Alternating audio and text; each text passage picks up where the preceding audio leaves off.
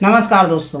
आज की स्टूडियो में आपको आदित्य बिरला फाइनेंस से पर्सनल लोन लेना सिखाऊँगा। जैसे हमने जो कि दो लाख रुपए का लाइव अप्रूवल लेके दिखाया है तो यहाँ पर आदित्य बिरला को कौन नहीं जानता है? आदित्य बिरला सीमेंट से लेकर आदित्य बिरला फाइनेंस से हर एक बच्चा बच्चा इसको जानता है। तो आप जो है कि टेंशन नहीं लेना, बहुत ट्रस्टेड एप्लीकेशन है ये। आपको मैं बता दूँ, ये आरबीआई एनबीएफसी अप्रूव है और बहुत पुरानी यहाँ पर ट्रस्टेड फाइनेंस कंपनी है। तो यहाँ पर आपको आसानी से पर्सनल लोन बहुत आसानी से मिल जाएगा। इस, इसी बात पे आपको मैं बता दूँ कि यहाँ पर आपको जो है कोई भी यहाँ पर सैलरी स्लिप नहीं देनी होगी। यानी कि आप जो है ओनली स्टेटमेंट और आपका जो है यहाँ पर केवाईसी पर आसानी से लोन ले सकते हैं। तो चलो जो है कि मैं बताता हूँ इस वीडियो में आपको कैसे आपको अप्लाई करना है, क्या यहाँ पर डॉक्यूमेंटेशन लगेंगे रेट ऑफ़ इंटरेस्ट क्या लगता है, और साथ ही साथ इन सब पे लगने वाले फ़ीस एंड चार्जेस को भी साथ में हम समझेंगे। चलो बढ़ते हैं वीडियो में आगे की ओर। आपको सबसे पहले इसकी ऑफिशियल वेबसाइट पर आ जाना है। ऑफिशियल वेबसाइट पर आकर लिंक आपको डिस्क्रिप्शन में मिल जाएगा। यहाँ पर आप देख सकते हैं इंस्टेंट पर्सनल लोन दस लाख रुपए का लोन आप आसानी से ले सकते हैं। तो अगर आपको यहाँ पर अप्लाई करना है तो नीचे अप्लाई नो का बटन आपको दिखाई दे रहा है। सिंपली आपको अप्लाई नो के बटन पर क्लिक करना है। जैसे आप क्लिक करेंगे, आपको आपको मोबाइल नंबर एंटर करना है। देन आपको ओ टी यहाँ पर फिल कर देना है। ओटीपी फिल करने के बाद मैं आपको आगे दिखाता हूँ मैं। तो यहाँ पर आप देखेंगे कि हमें जो है कि इंस्टेंट पर्सनल लोन लेने के लिए कुछ प्रोफेशनल और पर्सनल डिटेल्स देनी होगी। जिसमें यहाँ पर आपको जो है कि पर्सनल डिटेल्स में आपका पैन कार्ड नंबर आपका जो है कि नेम और जेंडर वगैरह आप सिलेक्ट कर लेना, आपका date of birth marital status आपको बताना है। उसके बाद में आपको प्रोफेशनल ईमेल आईडी पर्सनल और रेजिडेंशियल पिन कोड उसके बाद में आपको जो है कि यहाँ पर सिटी और स्टेट डालना है देन चेक बॉक्स पर क्लिक करना है देन आपको जो है कि यहाँ पर नीचे प्रोसेस का ऑप्शन देखने को मिल जाता है सिंपली उस पर आपको क्लिक करना है, ठीक है? तो ये सब कुछ मैं फिल करके आपको आगे दिखाता हूँ। उसके बाद आप देख सकते हैं प्रोफेशनल डिटेल्स में आपको यहाँ पर देख सकते हैं कि हमें पर्सनल आप सेल्ड पर्सन या फिर सेल्फ एम्प्लॉयड वो बताना है। ऑर्गेनाइजेशन नेम आप कंपनी का नाम बता सकते हैं इसमें और आपके ऑफ़िस की ईमेल आईडी वगैरह।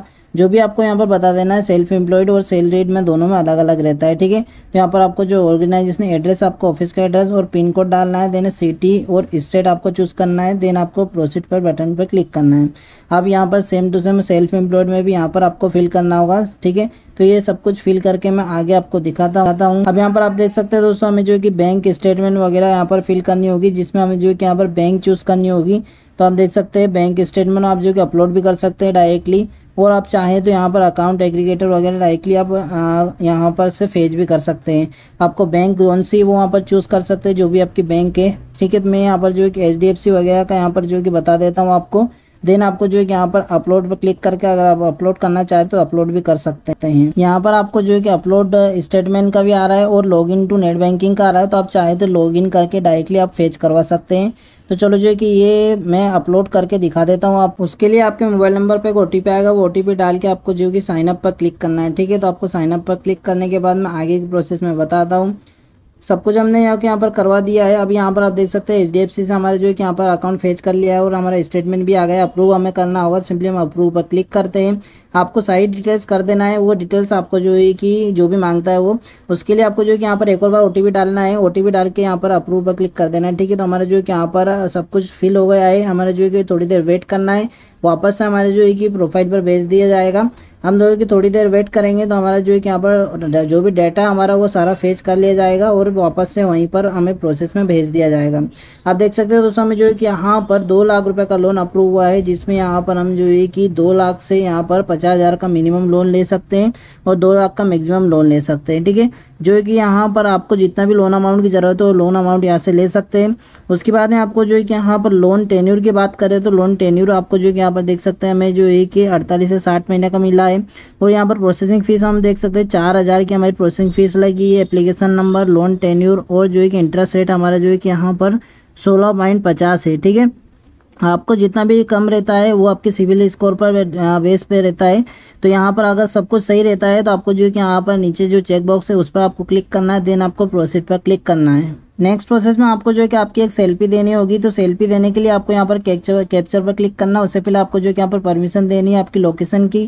तो हम जो कि यहाँ पर लोकेशन की परमिशन दे के एक सेल्फी यहाँ पर दे के और अपलोड करके आपको मैं दिखाता हूँ। उसके बाद दोस्तों आपको जो है कि आधार नंबर डालना है और आधार नंबर पे जो आपका ओटीपी है, वो ओटीपी आपको डालना होगा, ठीक है? तो हम जो है कि Aadhaar number O T P यहाँ पर फिल कर देते हैं। उसके बाद आपको जो कंटिन्यू करना है, उसके बाद आपको जो है कि यहाँ पर सिक्स डिजिट का सिक्योरिटी पिन इंटर करना देना आपको कंटिन्यू करना है। उसके बाद में आपको जो डिजिटल डिजी लॉकर से आपका जो भी डेटा फेस कर लिया जाएगा, उसको एलो करना है और अब जो कि आपको वापस से यहाँ पर आपको मोबाइल नंबर डाल के यहाँ पर आपको ओटीपी फिल करना है, ठीक है? तो एम जी के यहाँ पर मोबाइल नंबर डाल के सिंपली ओटीपी डाल के आपको मैं आगे दिखाता हूँ। अब यहाँ पर आप देख सकते हैं दोस्तों हमें कन्फर्म यूर डिटेल्स हमें जो कि हमारी डिटेल्स जो भी हमारी फेच की गई है उसको कन्फर्म करना है। अगर सब कुछ सही है आपका और करंट एड्रेस और आपका जो है कि रेजिडेंस एड्रेस सब सेम है तो आपको क्लिक करना है देन आपको यहाँ पर प्रोसीड पर क्लिक करना है। उसके बाद में आपको जो है कि आपकी बैंक वेरिफिकेशन दे, देना है जिसमें आपकी जो भी आपने बैंक दी थी उसका अकाउंट नंबर डालना है और अकाउंट फिर से वापस कन्फर्म करना है। उसके बाद में आईएफएससी कोड डालना है ब्रांच नेम आपको डाल देना है। सब कुछ डिटेल्स आपकी जो माँगता है वो डाल के सिंपली आपको प्रोसीड पर क्लिक करना है। डिटेल्स हमने डाल दी है। आपको जो है ऑटो डेबिट भी सेट कर देना है, ठीक है? आपका मोबाइल नंबर पे ओटीपी वगैरह आएगा, वो ओटीपी आप जो है ऑटो डेबिट सेट कर देना है। आप यहाँ पर आपको जो है कि आपका जो भी कॉन्टैक्ट डिटेल्स है वगैरह आपको वहाँ पर कॉन्टैक्ट डिटेल्स देना है। देन आपको जो है कि थोड़ी देर वेट करना है, ठीक है? थैंक यू का मैसेज आपको आएगा। इसके बाद आपको जो है कि दो से तीन घंटे वेट करना है। दो से तीन घंटे आप वेट करेंगे तो आपका यहाँ पर जो कि कॉल वगैरह भी आ जाएगा, कोई इशू रहता है तो। या फिर आपको जो है कि वो मेल भी कर देते हैं अगर कोई इशू रहता है तो। और उसके बाद में आपको जो है कि जो भी अपना अकाउंट नंबर दिया है उस अकाउंट नंबर आपको जो है कि यहाँ पर एक से दो घंटे के अंदर अंदर आपका पैसा बैंक अकाउंट में ट्रांसफ़र कर दिया जाता है। तो इस प्रकार से आपको आदित्य बिरला फाइनेंस से पर्सनल लोन लेना है।